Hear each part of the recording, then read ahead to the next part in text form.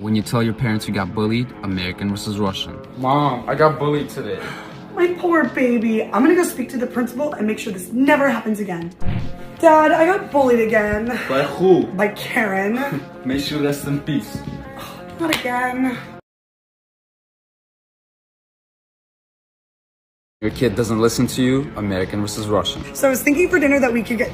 Connor, get off your phone. No, don't tell me what to do. Did you just talk back to me? Just shut up. Wow, look at this view. Get off your phone. Nah. What did you say, Blanche? When your dad finds out you American versus Russian. Hey, how are you?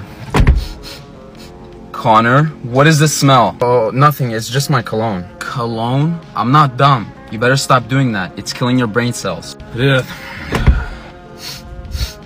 What the fuck is this smell? Uh, what smell? It's just my air freshener. Oh, air freshener.